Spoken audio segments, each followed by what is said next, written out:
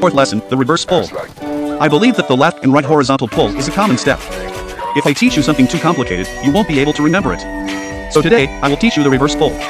You need to change a little bit on the basis of the left and right horizontal pull. If you really understand and learn the reverse pull in this video, your waist shot accuracy will be greatly improved. Do you see the line under my feet?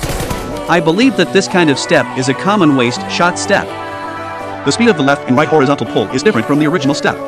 If the speed of the left and right horizontal pull is slow, it is easy for the opponent to catch up with the rhythm. Next, I will show you the reverse pull. Do you see it? This is a process step.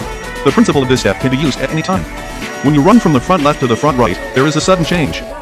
You must remember an important point. It has no rule. Warm reminder. This step is not the same as the crab step. In practice, the number of times a reverse pull can be expanded or reduced depending on the situation. This is not a standard step. It can be compared with the left and right horizontal pull. It can also be compared with the crab step. This is a sudden change in the normal left and right movement. It is much higher than the crab step, so it can't be compared. You can see that two people are pulling at the same time through slow motion. At this time, you can't pull out.